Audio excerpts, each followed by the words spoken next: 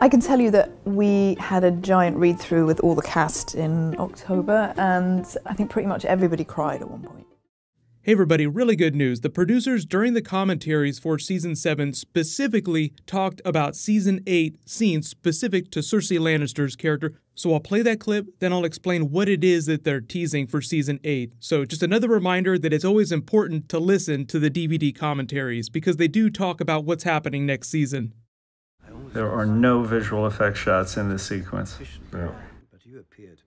But this scene was shot in the paint hall in Belfast in our illustrious set.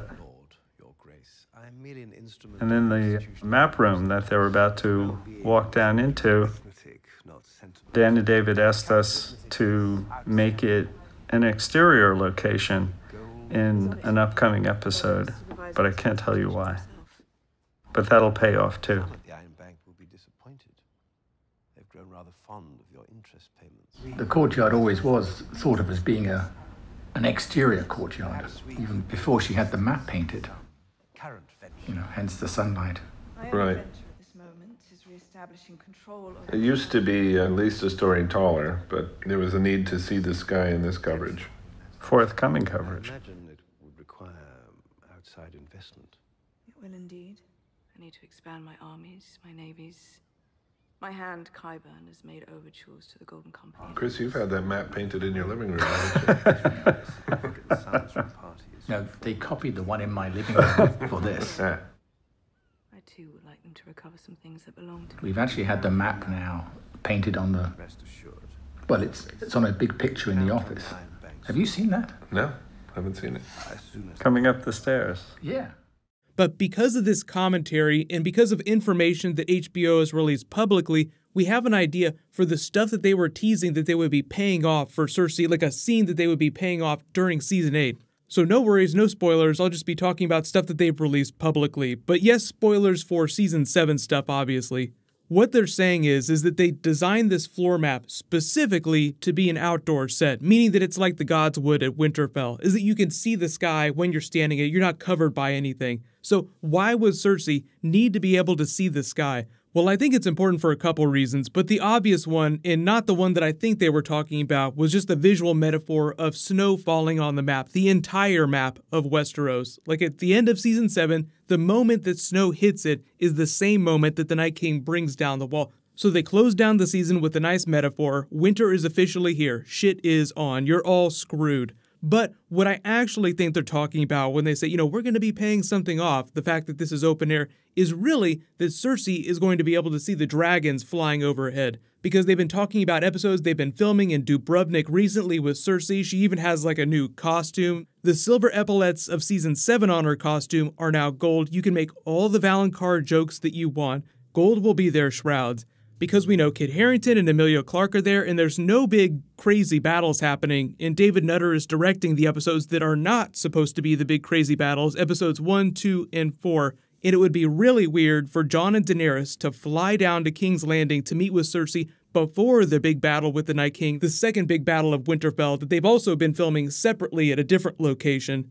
The moment that they're going to pay off for Cersei probably comes in episode 4, which is also a very important episode because of where it falls between the big battles and the actual finale. Remember, there are only six episodes, and because Dan and Dave are directing the series finale, and they're not known as like their big battle directors, that's Miguel Sapochnik, there is probably not much of a big final battle in the actual series finale. If there's going to be a big final battle, that's probably going to be episode 5, and it might just spill into the beginning of episode 6. Episode 6 was probably just aftermath and dealing with what they do to rebuild the kingdom. Anybody that isn't dead after episode 5.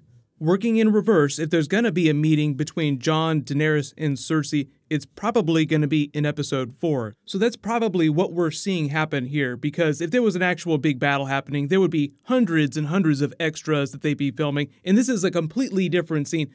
But regardless of what they're filming right now, just remember they don't film in chronological order. They group things together just based on how they can schedule all the actors. And if there's like a really big battle, it gets extra nuts but you'll probably continue to see like little small moments between a couple different main actors, then the really big crazy battle stuff, which is kind of spoilery, so I won't post that stuff here. But you can imagine there's going to be two really big battles, one at Winterfell and one at King's Landing towards the end of the season.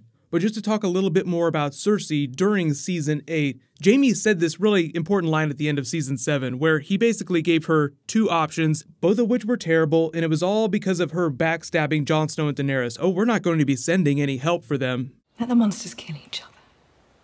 And while they battle in the north, we take back the lands that belong to us. And then what? And then we rule. When the fighting in the north is over, someone wins. You understand that, don't you? If the dead win, they march south and kill us all. If the living win, and we've betrayed them, they march south and kill us all. So either way, Cersei's kind of screwed, but you kind of have to laugh at the way she deals with stuff like this. So it doesn't really tell you whether or not they're successful in beating the Night King in what seems like it's going to be the episode 3 Battle for Winterfell, the second battle for Winterfell. But because of Daenerys' vision, the snow, and the ruins of King's Landing in the Iron Throne, a lot of people are just wondering if that's actually going to become a reality and the Night King will bring Viserion down and just destroy parts of King's Landing. Or maybe if that's destruction that happens during the final battle between the army in the north, Jon Snow and Daenerys' forces, in Cersei and King's Landing. Because regardless of which dragons do this damage, I do think that it's going to come to pass. And remember that it is snowing in King's Landing, so that explains why it's snowing here. Like, even though people wonder if the Night King brings winter with him, he can create a storm, but relatively quickly, it's going to look like this in King's Landing no matter what, just because of normal snowfall.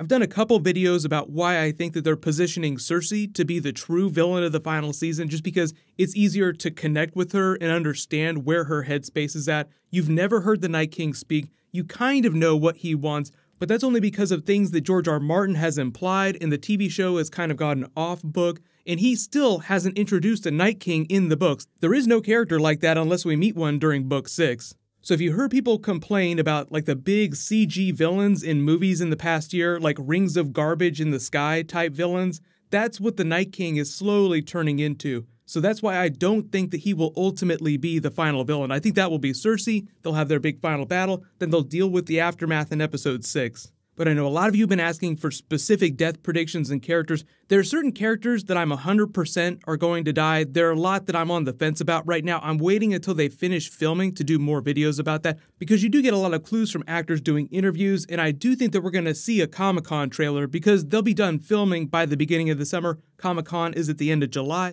So they will have some footage to show off, and they'll be back on their normal hype schedule. If you remember the earlier seasons, they would start dropping teasers towards the end of the year. They would really ramp up in January and February, then boom, they would drop the season in April. That's probably what's going to happen for season 8. So for everybody that's bummed out that there are no new episodes this year, they will actually be dropping new footage. We probably just won't see it till the third and fourth quarter of the year.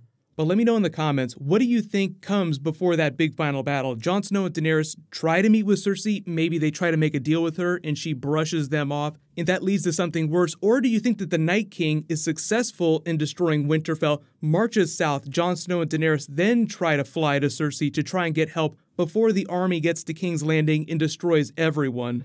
Either way, it does seem like that final battle will be happening at the Red Keep, and it makes sense because they're the two most important locations on the show. You go back to the pilot episode, you have Winterfell, then you have the Red Keep and the Iron Throne, the thing that we've been talking about for the past eight years.